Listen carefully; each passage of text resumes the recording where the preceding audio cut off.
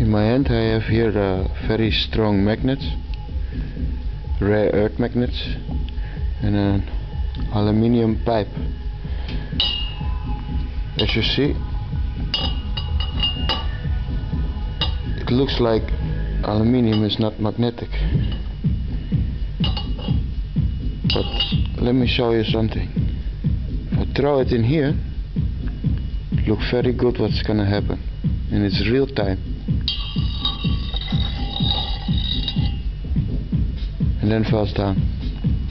If you don't even see it, normally you see it, it's very strong. Normally if I let this fall it's a bit in one second it's down. But here we go.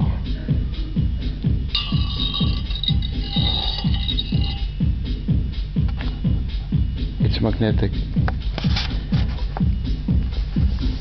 The same you will see with copper. Again,